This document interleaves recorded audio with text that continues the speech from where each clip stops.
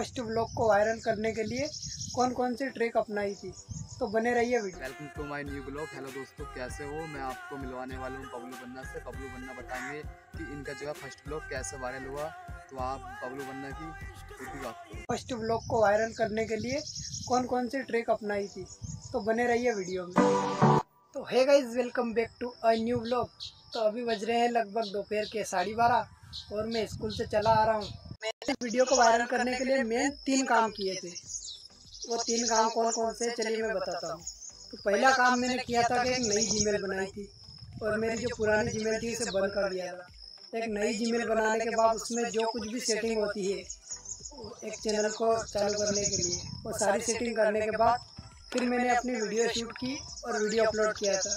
Video upload करने के बाद मैंने जितनी मेहनत एक वीडियो को बनाने में की थी उससे दुगनी मेहनत मैंने अपने थंबनेल को बनाने में की थी। तो आपको भी ध्यान रखना है कि आपका थंबनेल एकदम यूनिक होना चाहिए। कुछ अलग होना चाहिए, हटके होना चाहिए।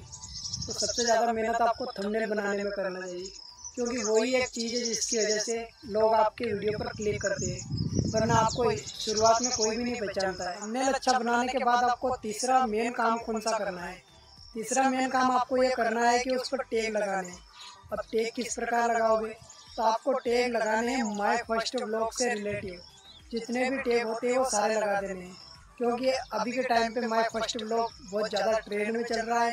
हो सकता है अगर आप उससे मिलते जुलते टैग लगाओगे तो आपके वीडियो को भी देखा कि बबलू बन्ना ने इनका ब्लॉग कैसे वायरल हुआ उन्होंने कैसे हैश टैग लगाए और उन्होंने कैसे कीपैड लगाए। आप भी इस तरीके से अपना ब्लॉग फ़र्स्ट ब्लॉग वायरल कर सकते हो।